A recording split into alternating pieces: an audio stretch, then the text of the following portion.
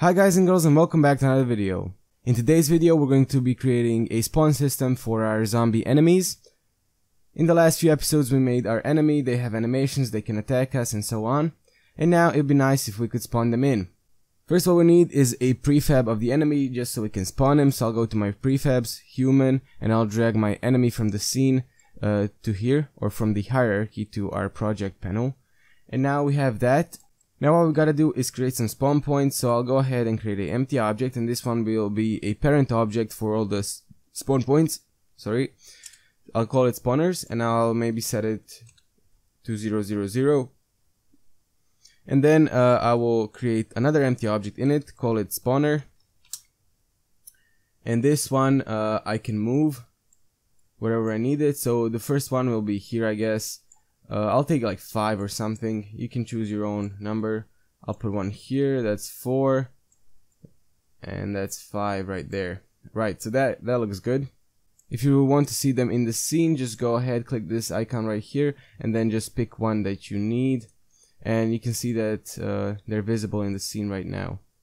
And now we just need a new script, so I'll go create a C sharp script, and this one will be called spawner. Open it up. In here, first we'll need a way to represent all our spawners in the script. A really great way of doing that is using arrays. If you go to the Unity scripting API, you will see that arrays allow you to store multiple objects in a single variable, and it will show you a way to create them here example so let's do that I'll make it public just so we can see it in the inspector for now and uh, the way you create a array is just you give it a uh, variable type. We need a game object because we need the spawners. Then you put these guys. I don't know what their name is in English. Hell I don't even know them in Croatian. And then you give them a name. So mine will be spawners. And you can't uh, assign these uh, right here. You need to do it in the start method. And the way we're going to do that is by using a for loop before we do that we just need to tell it that the spawners uh, equals to new game object and then we need to give it the size of the array.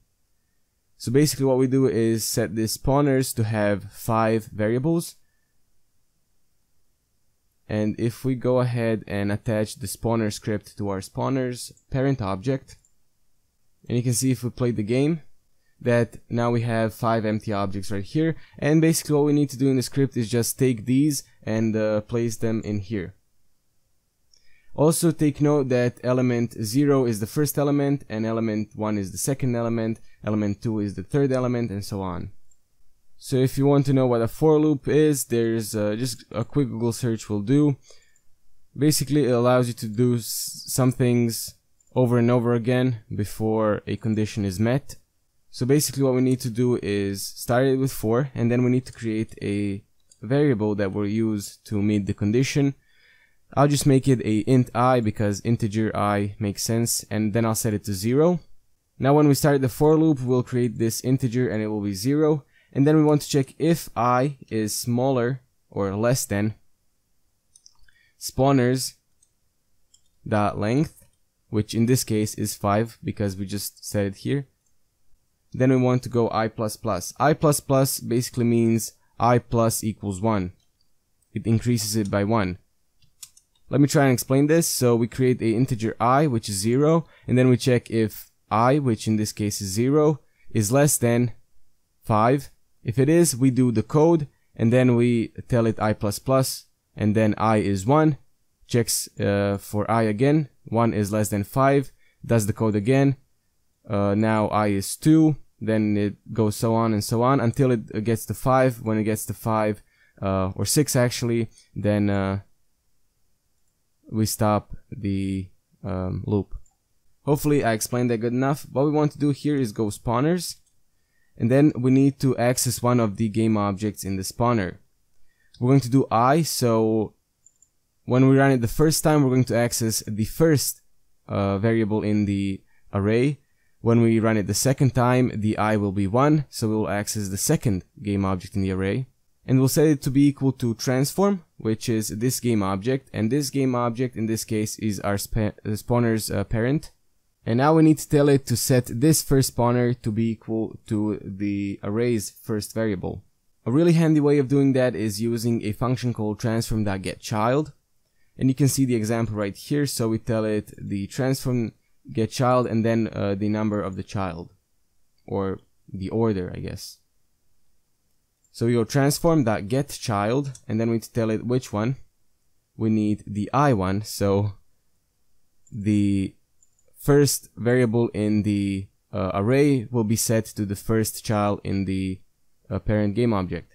And then we also need to give it the game object right here, like that. Right now, if we play the game, you can see that we enter the game and all the variables in our array get set to the spawners. All we have to do now is just pick a random one and then spawn the enemy. So I'll go ahead and I'll create a private void spawn enemy. And what I'll do in here, I'll go ahead and instantiate. And now we need to give it the game object that we want to instantiate. So I'll just create a private game object right here. That'll be called enemy. And then I'll instantiate the enemy. Or actually it won't be private, it'll be public. Or serialized field, both of those will work. You can see if you go to the Unity API that object.instantiate takes in a few variables you can only give it this one but then it will just spawn it wherever or you can give it a position and a rotation which we will do so we'll tell it to spawn the enemy at the location of one of the spawners now how you get a random one will be spawners we access the array and then we, we need to tell it which number to get for now let's just do one and then we'll go dot transform dot position also, we need to tell it the rotation. So we'll go spawners. Same thing again, we'll give it one. We'll go transform dot rotation. Very simple. And close it off. Now, we, we actually don't want to get one. We just want to pick a random one. And the way you do that is go random dot range. So it gets one random from the range. And the range is actually a function that we need to uh, use. And it takes in, you can see, uh, float random range it takes in a minimum and a maximum. The minimum is always zero here. And the maximum will be the spawners array dot length. So the size of the array, which is 5. And then we can just take this, copy it, and paste it into the rotation. Hopefully this makes a little bit of sense. So we pick a random one and then we get the randoms one transform and position. Now hopefully you can see what's wrong here uh, we're getting a random one both for the position and the rotation. So we'll spawn an enemy in with the position of the one game object, but the rotation of the other game object, aka our spawner. So what we can do is just in here, just create a quick integer that'll be called uh, spawner ID, I guess. We can call it like that. And then set that to be equal to uh, a random dot range and in here one so every time we call the method we're going to get one spawner ID and then we can uh, just put it in here we're doing the same thing that we did before but we're just making sure that the same ID is in the rotation and the position. Before we get started we just have to go to our prefabs and drag the enemy into our spawner script to assign the variable. And you can see that uh, we can actually run this the the method. That's my fault. Let's go to the private uh, void update and we'll just create a quick uh, test uh, function to, to see whenever we press input.get key down and the key code dot t for example. That's kind of for testing. And then we'll just spawn enemy. If we play the game press t you will see that the enemy should spawn at one of those and you can see that it did. He's right there. If you go closer to him he, he'll start chasing us. If press T again you can see that another enemy spawns at that point. and basically what we'll do in the next episode is make this a bit more automated just so for example an enemy spawns every 5 seconds or so and then you can increase that depending on the length of the game or something so that's it for this episode. Now I have to go to school because I'm already late. And uh, hopefully I'll see you in the next one. You can go follow me on my social media. Support me on my Patreon if you're that kind. And hopefully I'll see you next time. Bye bye.